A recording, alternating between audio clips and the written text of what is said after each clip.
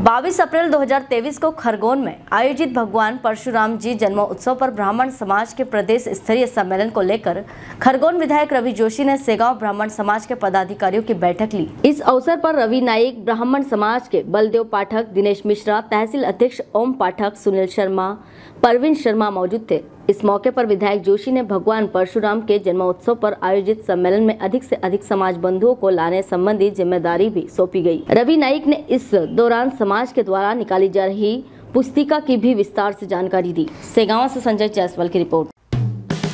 Hello friends आप देख रहे हैं हमारा channel S W twenty four news हमारे सारे वीडियो सबसे पहले देखने के लिए आप हमारे चैनल को सब्सक्राइब करें और पास में लगे बेल आइकन को दबाना बिल्कुल भी ना भूलें।